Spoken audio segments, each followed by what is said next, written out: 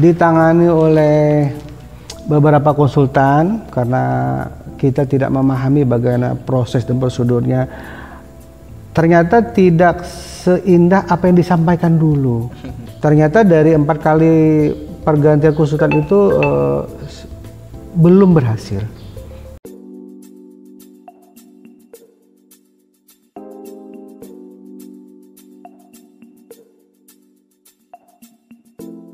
Assalamualaikum warahmatullahi wabarakatuh Pak Denny. Saya Lukmanul Hakim. Kebetulan saya bekerja sebagai ASN Pegawai Negeri Sipil. Dan alamat rumah saya Sekaligus juga tempat RBW saya ini Di Desa Bungin Kecamatan Paringin Selatan Kabupaten Balangan Provinsi Kalimantan Selatan. Ya, ini adalah kabupaten uh, baru pemekaran selama 20 tahun. Kabupaten baru, Bapak. Iya. Jadi proses pembangunan ini saya lakukan sekitar tahun 2017. 2017 awal sampai 2020, hampir tiga tahun lebih lah, hampir tiga tahun lebih prosesnya. Karena kita cuma pegawai negeri biasa di Kabupaten Balangan ini saya bekerja dan saya jadi pegawai negeri sudah hampir 28 tahun 8 tahun. Dan proses pembangunannya pembangunannya juga uh, bertahap ya, bertahap. Ada rezeki, ada rezeki main-main sampai tiga tahun lebih sedikit, alhamdulillah dengan bantuan Allah bisa menyelesaikan dengan dengan baik. Tetapi selesainya bangunan saya ini uh, jujur ini saya lakukan sendiri saya melihat sendiri uh, bagaimana di YouTube itu uh, proses pembangunannya karena saya pikir uh, bilang teman-teman dulu itu membangun walid itu mudah aja. Yang penting punya ruangan yang baik, punya letak yang baik. Dan untuk di Kalimantan Selatan ini populasinya luar biasa bagusnya. Karena di sini banyak hutan, banyak gunung dan sebagainya. Jadi kesempatan itulah uh, saya pergunakan juga nawa itu dari pemerintah ini saya melihat teman-teman keluarga-keluarga yang lain sudah pada berhasil. Nah, saya juga kepingin seperti mereka. Dan saya lakukanlah diskusi sama sama istri untuk menabung dan proses-proses sebagainya. Kemudian selama selesai dan ternyata dari empat kali pergantian konsultan itu uh, belum berhasil. Mungkin rezeki saya yang belum sampai atau memang tekniknya yang belum dapat mungkin ya. Kemudian uh, secara tidak sengaja saya melihat di Facebook, saya menganalisa hampir beberapa bulan, saya perhatiin kok ini uh, teman-teman seluruh Indonesia uh, dari markas Walid ya. Dan saya lihat juga banyak dari uh, penyelenggara yang lain yang mungkin tidak bisa sebut saya sebutkan kan.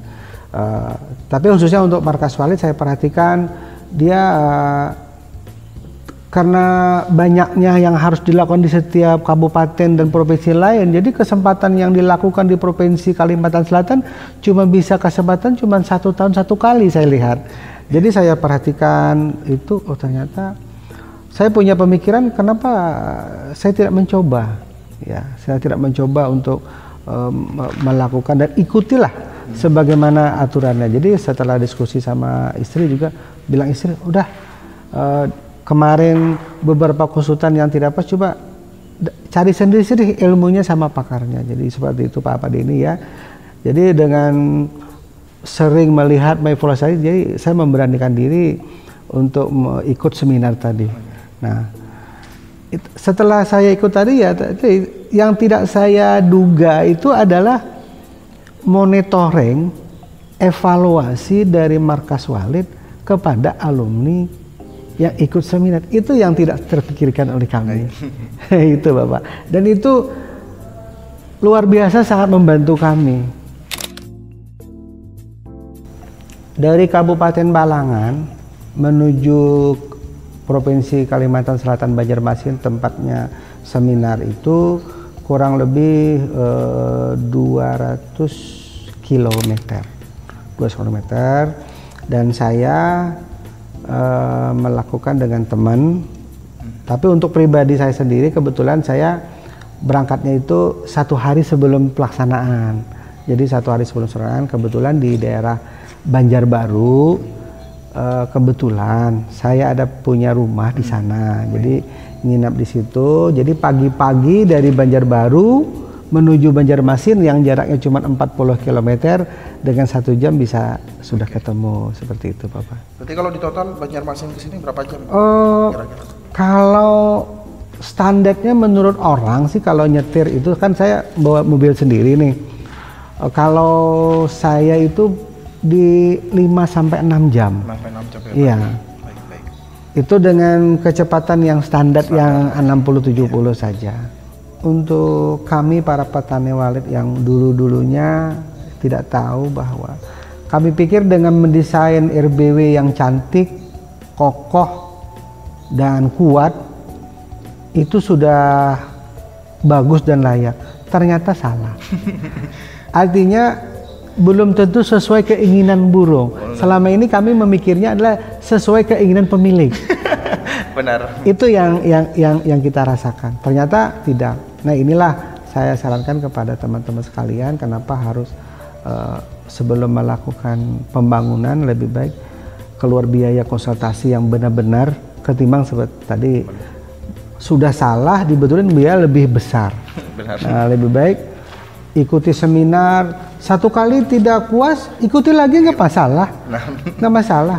Kalau tidak puas lagi ikuti lagi. Paling banter antara uh, eh, 5 sampai 15 juta. Tapi insya Allah uh, dengan melihat uh, semangat dari yang bersangkutan saya yakin teman-teman Markas Salid akan peduli. Buktinya saya sendiri aja. Jauh-jauh teman-teman datang dari Surabaya ke Kalimantan Selatan yang saya kaget kalau saya ngundang wah saya nggak mampu. Saya nggak mampu. Ngundang teman-teman Markas Walid saya undang ke tempat saya di Kabupaten Balangan saya nggak mampu biayanya. Dan ini eh, tadi saya bilang bahwa saya terima kasih Pak Pak Pak Pak Denny sama teman-teman lagi bahwa inilah yang menurut saya kepedulian teman-teman Markas Walid. Nah, ini yang mereka seperti rasa kekhawatiran apakah teman-teman yang ikut seminar itu e, tidak sia-sia begitu bayar padahal uang pembayaran itu sebenarnya bayar nginap, bayar makan, bayar resepsi dan sebagainya. Saya tahu lah seperti itu. Dan keuntungannya cuma kecil aja kalau kalau di kalau di total ya, kalau di total menurut saya ya uh, tidak melihat besarannya yang ya. 5 juta atau 6 jutanya gitu. Nah, jadi kembali kepada teman-teman para petani yang baru bikin alangkah bagusnya tadi konsultasikan sama markas Walid sebelum terlanjur salah. Iya gitu. Oke.